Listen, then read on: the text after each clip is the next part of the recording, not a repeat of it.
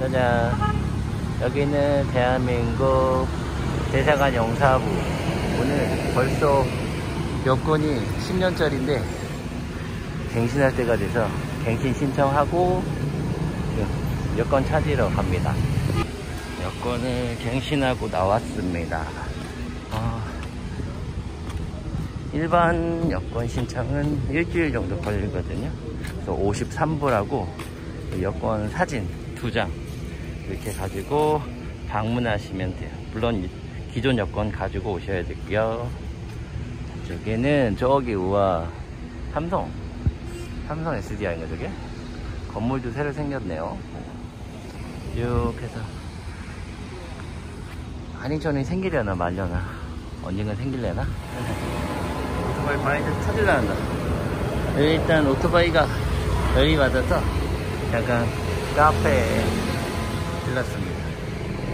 대사관 갔다가 가까운 호토이 어, 여행 오면 한 번쯤은 들린다는 호토이 호수의 카페촌 지나가는 길에 커피 한 잔 마시고 가겠습니다.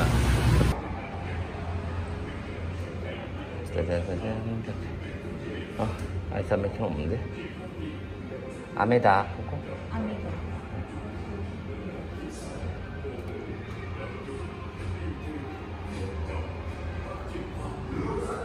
있네.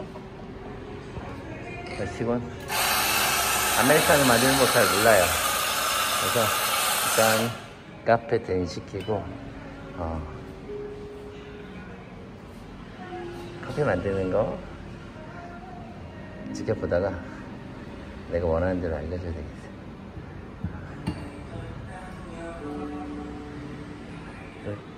핑커피로 내린 커피에다가 얼음 주거든요.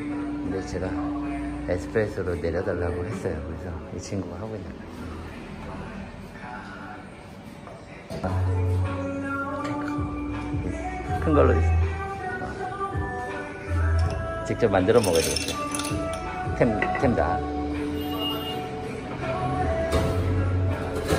정식 아메리카노가 없는 매장이라서 제가 부탁했습니다. 아, 네, 근데. 네. 넣습니다. 아메리카노. 감사합니다. 어, 내가 만들어서 그런가? 더 맛있는데? 어, 비 올라 그런다. 빨리 집에 가야 돼. 어, 비가 한 방울씩 내리고 있습니다. 빨리 잡아야 돼. 거의 다 왔습니다. 아, 비 온다. 이거, 빨리 가야 돼. 도착했다. 하하. 다행